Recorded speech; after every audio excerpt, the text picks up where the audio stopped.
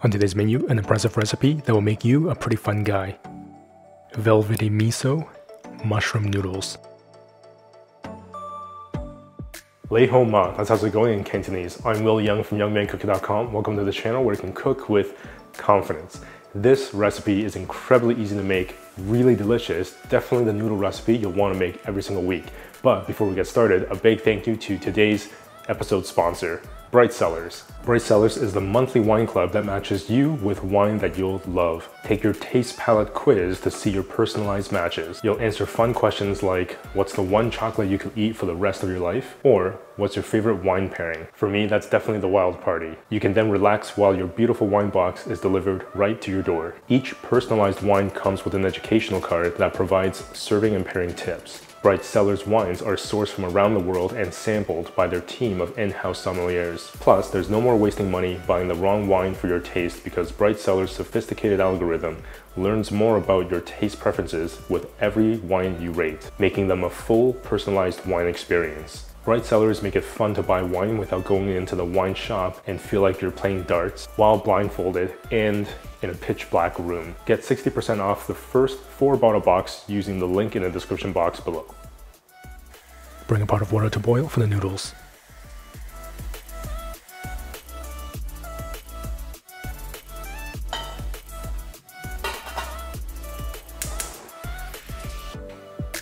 Blender half cup cashews,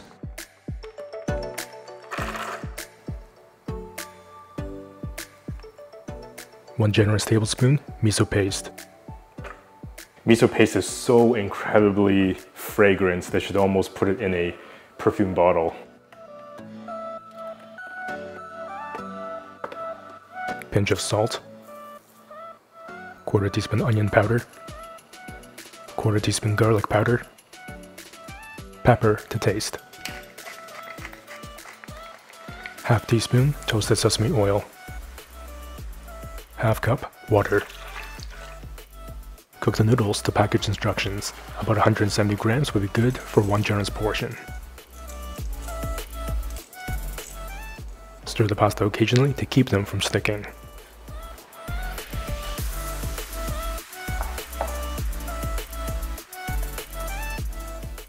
Slice about 150 grams of shiitake mushrooms.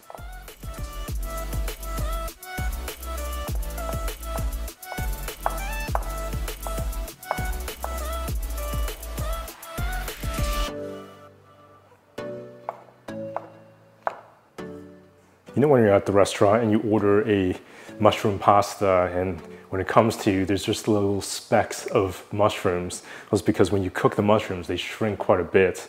So even though you use quite a lot of mushrooms, it may actually look like there's not a lot in the final product. So I always like to use even more mushrooms.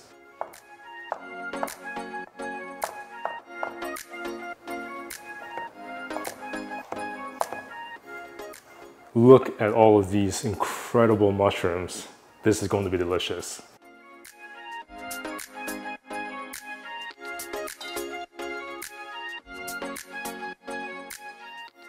When the pasta is done, take half a cup of pasta water. Strain out the pasta and set aside.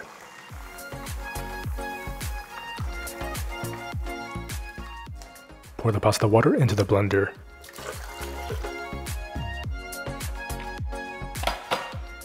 Blend on high until liquefied.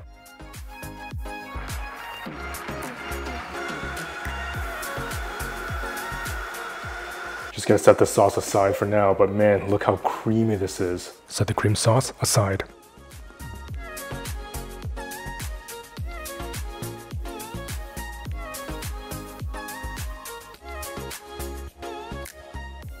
Frying pan. Medium heat. 1 tablespoon white sesame seeds. Toast the seeds for about a minute.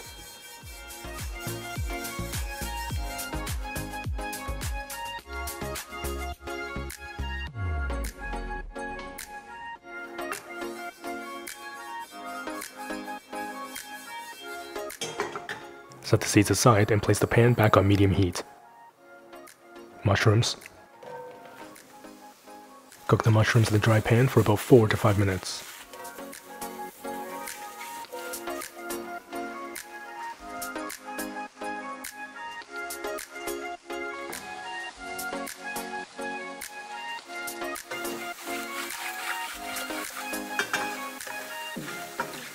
drizzle of olive oil. Saute for a couple of minutes.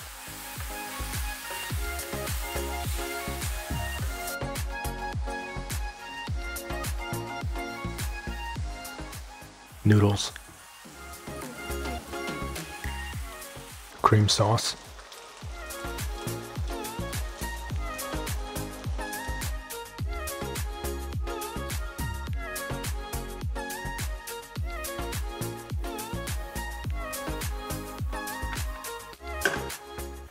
Cook for another 1 to 2 minutes.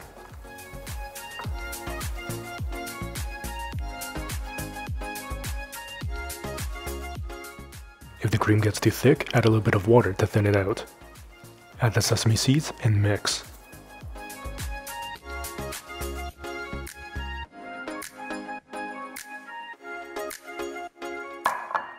Plate.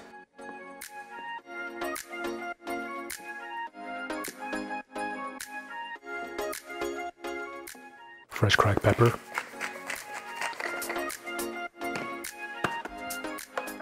Grate over some dry shiitake mushroom to give it an extra lift of umami.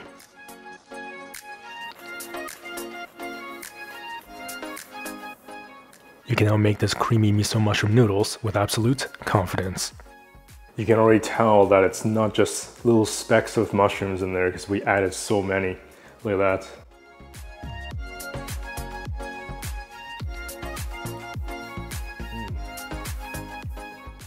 That is so creamy, so rich, and absolutely delicious.